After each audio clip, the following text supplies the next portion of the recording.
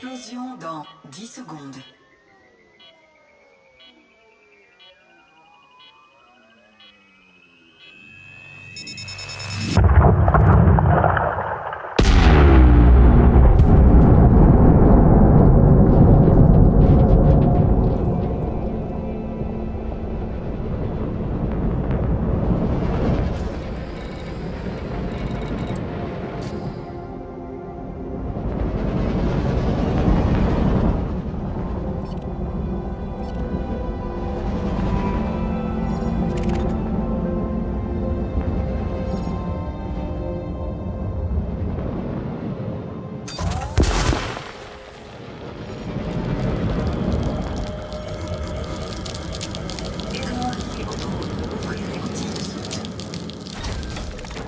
Observateur de cargaison de Paris.